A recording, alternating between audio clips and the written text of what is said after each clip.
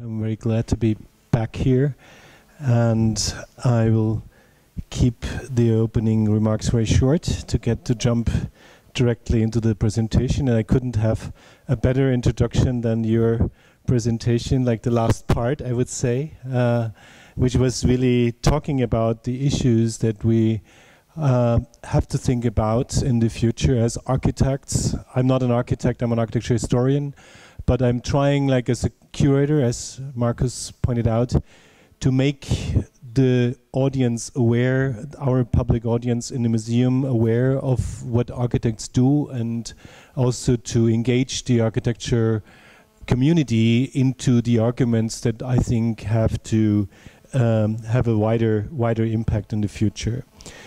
So my lecture is basically addressing three or four questions. First, I want to go into the uh, into the main question: What is the social relevance of architecture by today? What then? Secondly, what can architects do in this in confronting this question? Third, what are the lessons that we can take from the ground? So what's really happening in that area of interest? And as the last part of the uh, lecture, I want to talk about the next steps. So where are we going to?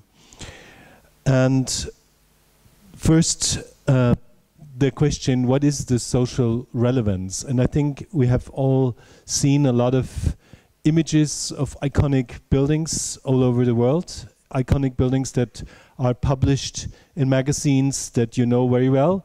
And this was a kind of a random choice of our technical university's library from a, uh, like an average month when you look into it. And what you see is, uh, I think, very shocking for me. If you look on all these magazines, you see not a single human being on these magazines. So, for, for whom are these buildings built for?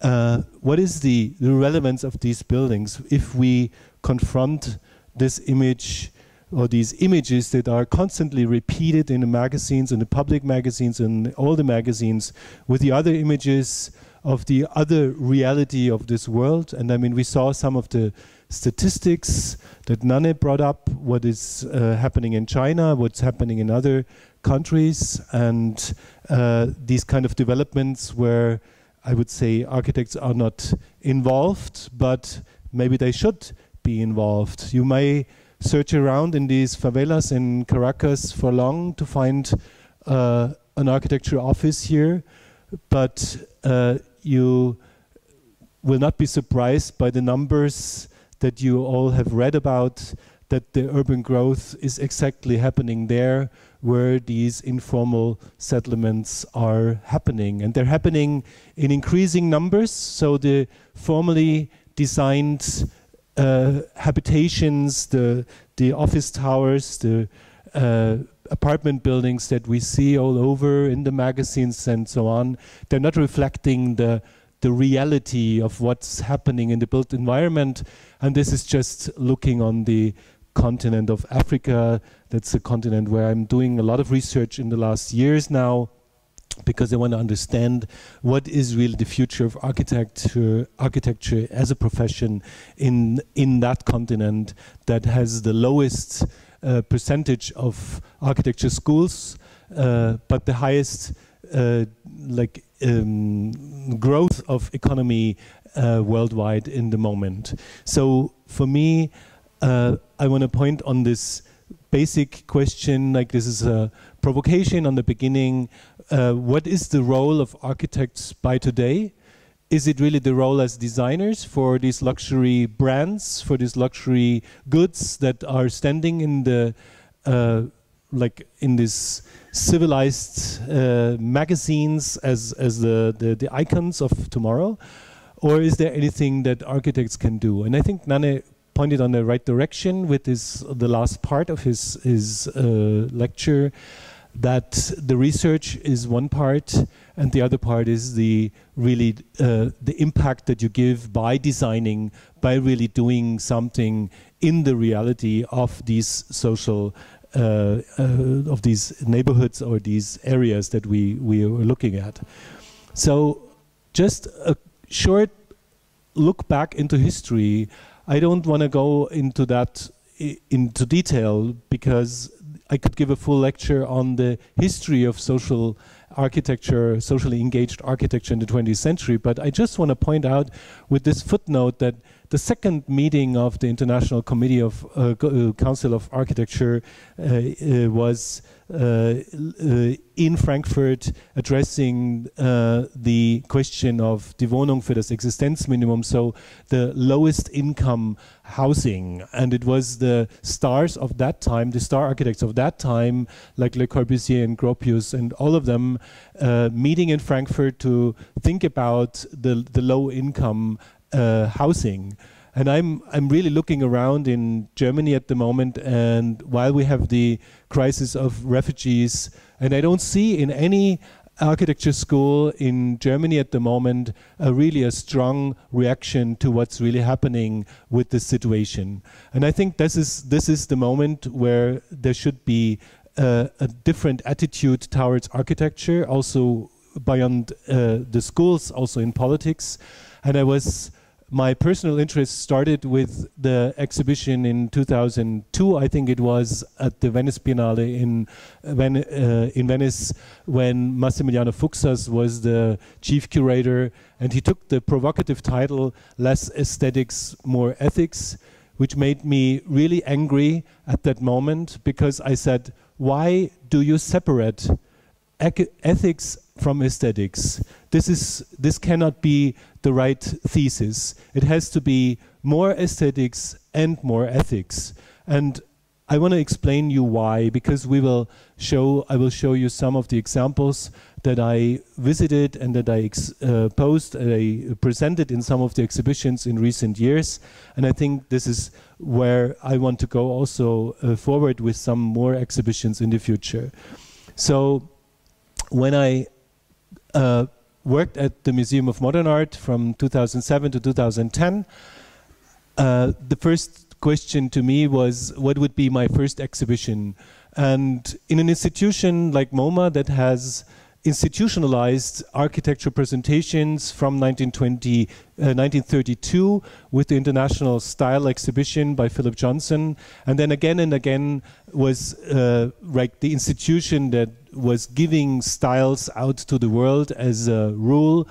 Uh, I wanted to find out what can I do as a curator in this institution, this powerhouse of thoughts of uh, impact, uh, to maybe to change a little bit the public perception of uh, architecture in in a broader sense. So I started researching with some of the projects that I had known before, and uh, trying to find out more what can the impact uh, of architecture nowadays be. And this is just as a short overview. Uh, these were 12 projects, and I will point. I will go into details in two or three of them in the following uh, part of the lecture. So with this show, I started um, to try what would the public reaction be? And the first reaction in the museum was very skeptical. But fortunately, it was uh, the year 2008 when I proposed this exhibition to the exhibition committee. And uh, with the crisis in America, this question of this socially uh, engaged architecture became sort of something that uh, the MoMA was also getting some, uh, finding some interest. So I want to uh, show two or three examples from that exhibition and also from other exhibitions that I've uh, presented, uh, not only at MoMA but also in other institutions. And since 2013, I'm working in Munich, and I'm trying to continue my research research by exhibiting with other projects as well. So first project is the uh, the design or the school project by Francis Kéré, which was also on the poster that you've seen here in the lobby. If not, the superintendent here of the building has removed the, all the posters uh, again and again. So uh, Francis Kéré was born in uh, Gando, which is a village that you see here from an aerial view in Burkina Faso. And if you don't know where Burkina Faso is, I didn't know it before 2008, before I started my research for the exhibition. It's one of these landlocked uh, sub-Saharan countries, one of the poorest countries in the world. Average income is $1 per day and the illiteracy rate is around 80%. So there's no gold, there's no oil, there's nothing that anybody would be interested in. So this country stays poor as it is. And Francis was born exactly in this little uh, savannah village. And when I visited it, I took my own pictures to just to make sure it is really what I see in the publications. And uh, for a long to make a very long story very short, Francis was born there and found through some very happy circumstances his way to study architecture in Berlin at the Technical University in Berlin. And while he was in Berlin as a student of architecture, he uh, always gained some money by driving taxi or doing other things and sent the money to his family in Gando in Burkina Faso.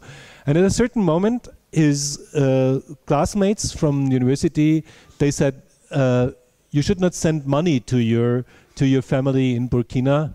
You should give them something back as an architect. Why, why are you sending money?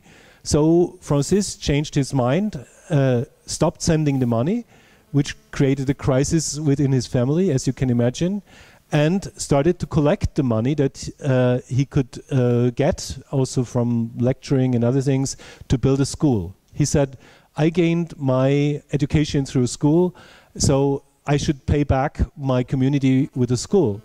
So the first crisis was when he stopped uh, with paying, uh, with giving the money, and the second crisis came when he had the money and came back to his community and said, now we're going to build a school, and we built it with clay bricks.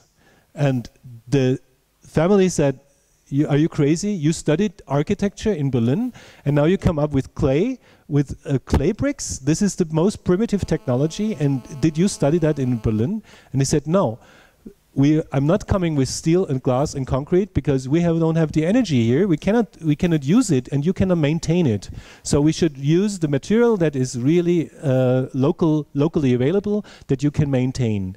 And I mean, it was a, a, a great opportunity that he could really build that school that you see here.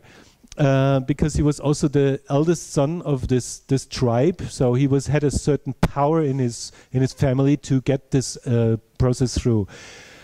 This project was built within the whole community. Everybody was bringing in the bricks, uh, fabricating, and uh, helping with that. There's no big machinery. This was all built by hand. There was no electrical power used. It's all built by hand. And with this school, Francis Kéré won the Aga Khan Award of Architecture. Aga Khan is rewarding the architecture since 1980 uh, for ecological and social purposes. And it's the first award worldwide and it's a it's an award uh, by one million dollars. So I don't know why nobody in Europe knows much, uh, so much about the Aga Khan Award because it's much higher than the Pritzker Prize, and it has been socially engaged since 1980, which the Pritzker Prize is, I think, still not really thinking about.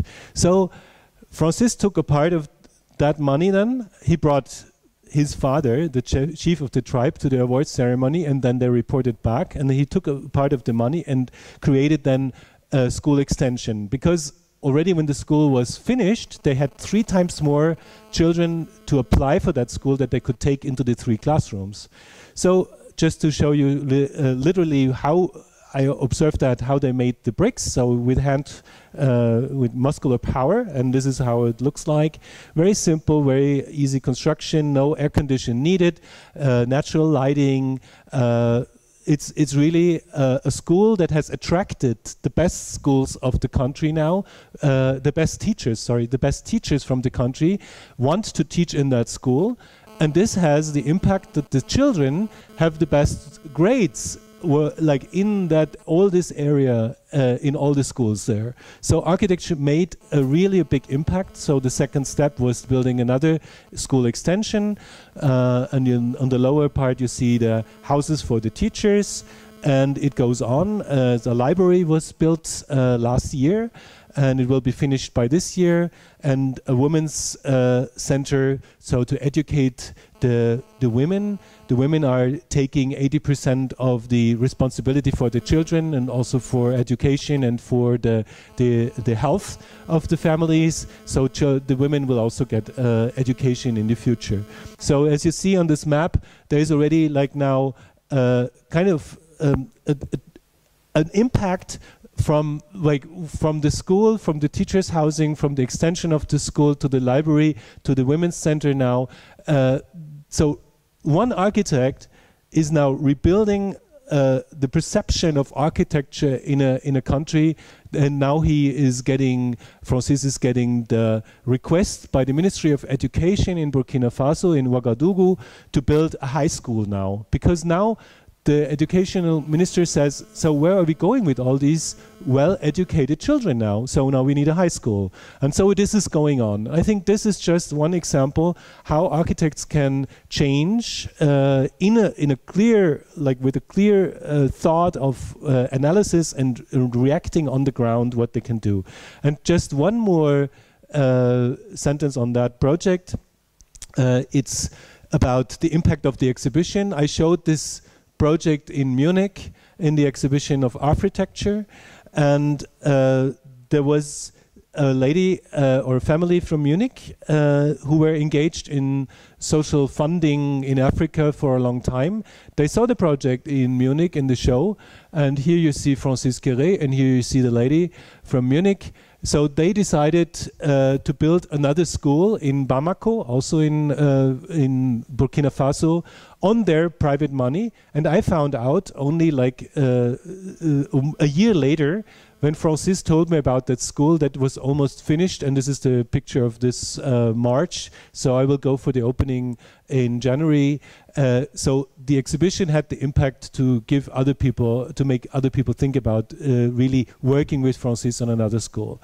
So this was a very specific case, I know, because Francis was born there, studied in, in Germany, and brought his uh, kind of knowledge back in a, in a transformed way to his home village. I think this is something that cannot be repeated easily, but I want to show you, like with another example, that there are other ways of uh, like sort of changing changing societies or changing neighborhoods with through architecture. The second example is in Rwanda. As you might know, in uh, 1994 there was the genocide in Rwanda. Hutu and Tutsi were uh, the, the, big massacre. One million people died in less than 10 months. It was one of the greatest failure of United Nations, and Kofi Annan admitted that recently that they could uh, could have stopped that massacre, but they didn't. And after that 1994 massacre, there was a, like a long period of uh, reconciliation and very difficult situation. But the women that had uh, been stayed alone and had no education were still like suffering for a long time and for very long until uh, like uh, like now. And there's an there's an institution called Women for Women. Uh, they were grouped together after the the the Yugoslavian war. Uh, and they were trying also to help the, the women in Yugoslavia, ex-Yugoslavia, to survive and to get education.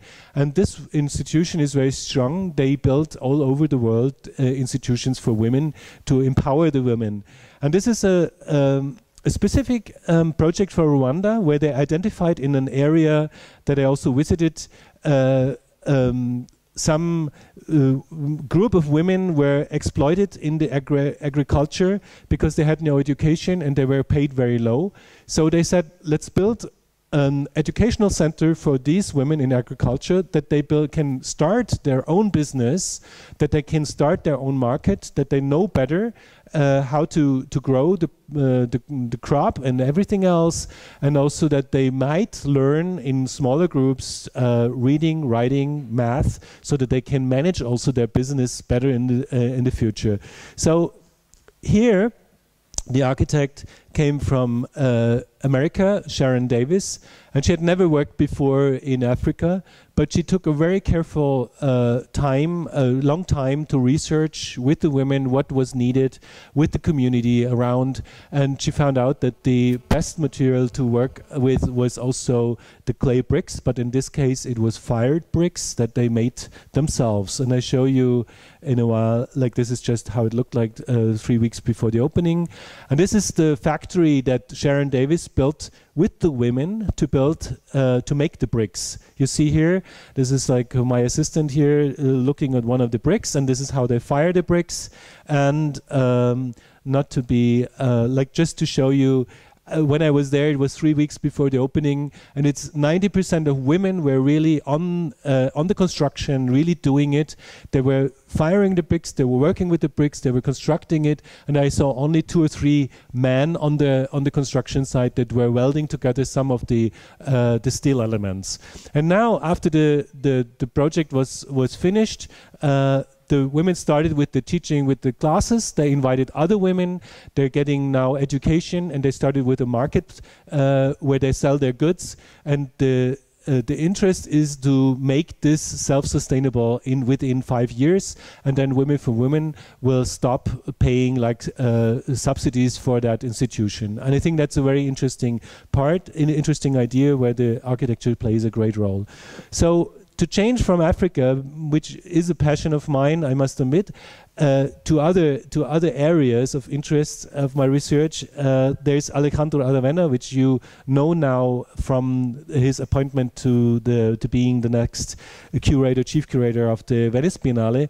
When I worked with him in 2008, 2009 for the show in uh, in New York at MoMA, he was just uh, like finishing his Quinta Monroy housing in Iquique in Chile, and you might have seen him uh, once. He's a very charismatic uh, person as an architect. He says uh, socially engaged architecture can, makes only sense if the architect is also paid by this uh, kind of design. He says, "I'm not." Uh, uh, like a, a, layman. I'm, I'm an architect. I'm highly trained. I need to make money.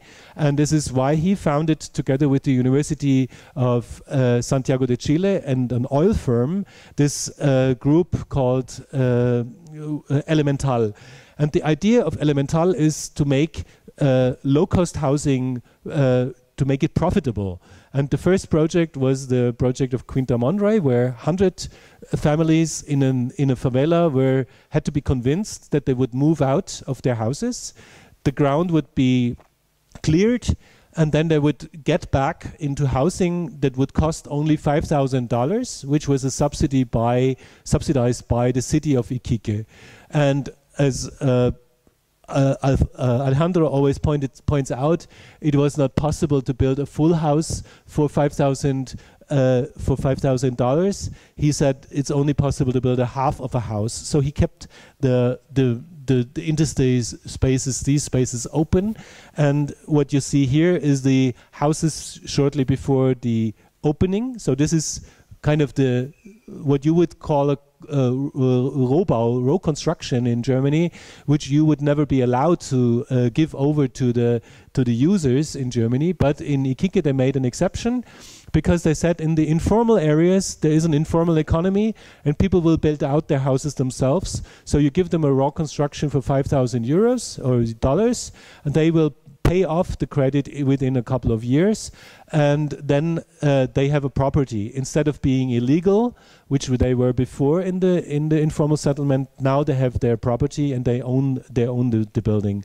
So what you see here is a couple of months after the people moved in people started building out the housing. They started to build in like little apartments in the in the interspaces here, and then to rent them out for other people, making money of it, paying off their their debit. And so uh, within less than uh, five years, all the hundred families had paid off their credit. Now they have ownership. Now they can go to the banks get loans on their houses and open their businesses because now they have a security which they hadn't before. And I think that was a very smart move by Alejandro to use the system of like the informal economy and to really uh, make stimulate people to uh, really build out their houses themselves. I think this is the greatest I, I think uh, uh, opposition of what architects nowadays think to be like this is of course is a is a provocation for every architect who thinks that he can design everything until the the, the balcony and uh, the the curtains and everything. But here it's given over and so the architect gives back something that the people can decide on themselves. So another example where I just want to come also closer to the issues in, in, in Europe, uh, I think it's the issue of uh, the, the, the, the, policy of, of Lacaton Vassal, which you also might know very well, with their first project in Paris, the, starting with the study about Paris and the uh, banlieues with the housing of the 60s and 70s, and uh, the nice film by Nanne before where you saw the housing uh, like exploding and falling down. This is what uh, Lacaton Vassal always showed this film in reverse. They say this is not the solution. They say the solution is taking the, the houses as they are and rebuild them and to make them better and to keep the, the people inside as, so, as long as they are there. And this is the the tower in Paris, uh, Tour Bois-le-Pretre, where they could uh, uh, build it first time. Their example, and what you see here is their their project to build with uh, prefabricated elements to build a second facade around the house, then tear down the interior uh, old facade and expand all the apartments by 20 15 to 20 percent. So the, the, each apartment has about uh, 15 to 20 percent more space, less heating costs, better insulation, more light, and a higher quality. All people stayed, all people who lived in the apartments stayed in their apartments. They only moved internally during their construction. They had not to move out. And this was uh, during the construction. This is the end of their uh, uh, of the story. And you can, when you fly into Paris, you can see it, the tower now next to the to the the the, the big street uh, when you come from the airport, and it's a high, highly successful because now the people pay the same rent as before. The city of Paris, who kept this apartment standing up, saved about 30 to 40 percent of the money that they would have to spend taking people out, removing the house, building them new housing. So there was an economic impact, a positive impact, there was a social impact, and there was also uh, a kind of a, a, a high impact on the living quality in these in these apartments. And as the example of the Tour de Bois-le-Pretre was so uh, successful, uh, in France they decided to give now uh, Lacaton Vassal uh, many more projects, and this is just the one I found uh, now. This is just going to be finished now. It's 530 apartments in Bordeaux, and you see in the back, this is the former state, and in, in the front, you see it's already uh, uh, almost completing. So these were just a few um, examples from these exhibitions I've made. And the question that always comes up with this is what are the criteria for the selection process? So uh, I want to point out that all these projects have a, a, social value that has to be proven by the reality. I don't trust, I never trust uh, the, the renderings of architects because they're made on their computers with the help of professionals.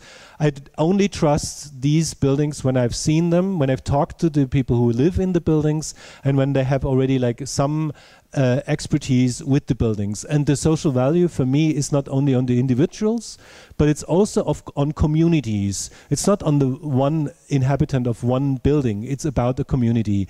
And in each of these uh, examples that, that I presented you, and I will present in other exhibitions, there's a strong impact on a, on a, on a, on a bigger number of, of people, not only one family.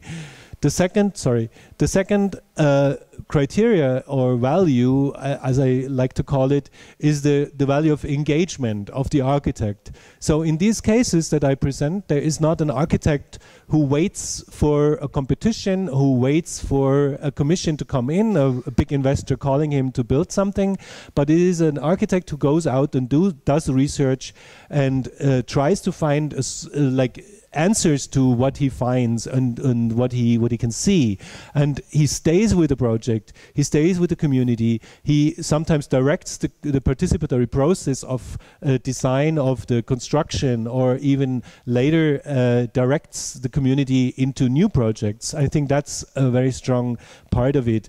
The responsiveness. So how does a project respond to the local uh, to the local conditions. And I mean local conditions, not only the the the conditions of uh, the gr the ground or the economy. It's also the the cultural traditions, the the social conditions. So how does an, uh, a project respond to that? And it's a very complex uh, complex question.